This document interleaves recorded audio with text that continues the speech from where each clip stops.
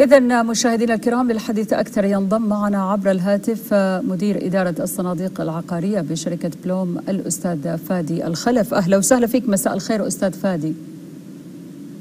مساكم الله بالخير أهلا وسهلا فيك. يعني لا يوجد ملف نناقش أو نبدأ النقاش فيه إلا مع كورونا. يعني مدى تضرر هذا القطاع العقاري بسبب فيروس كورونا وانعكاس أيضا الفيروس على العمليات التشغيلية له حاليا.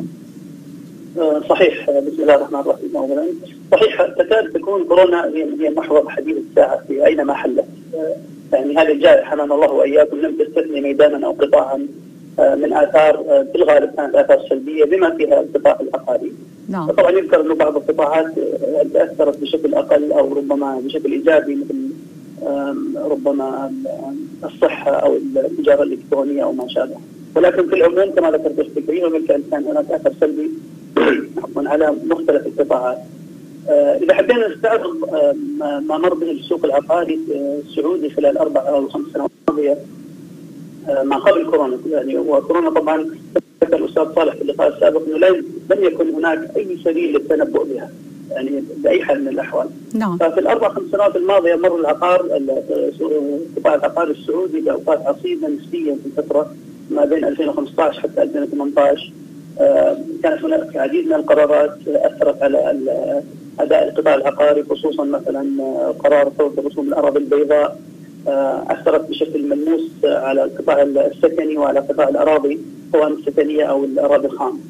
بنهايه 2018 انا حبينا نلخص ما, ما كان في فتره هذه السنوات كان هناك نوع من الركود والانخفاض الملموس. بنهايه 2018 بدأ يتحسن السوق يمكن إحنا المشاريع التي نديرها المشاريع السكنية لاحظنا هذا الشيء بشكل واضح خصوصا في الجزء السكني. دخلت مرحلة بداية الانتعاش حقيقة. مدعومه كما ذكر التقرير يمكن مجموعة من العوامل. من ضمنها دعم وزارة الإسكان في المقام الأول كان لها أثر كبير في تنشيط السوق العقاري. مشاريع وزارة الإسكان في نعم. مختلف مناطق المملكة. أيضا يضاف إلى ذلك دعم صندوق التنمية العقارية يمكن بأكثر من 100 ألف مستفيد خلال 2019 دعم العسكريين توسع البنوك في القروض السكنية. يضاف إلى ذلك ختام تراكم الطلب السكني لأنه الطلب على الاسكان له طبيعة نعم. أستاذ فادي. تاجيل ولكن لا يضمحل نعم. نعم. أستاذ فادي ودنا يعني نتحدث بشكل أكبر لكن أيضا لضيق الوقت نشكرك على هذه المداخلة حول طبعا القطاع العقاري في جائحة كورونا. شكرا لما قدمت من معلومات. شكرا لك واهلا وسهلا فيك.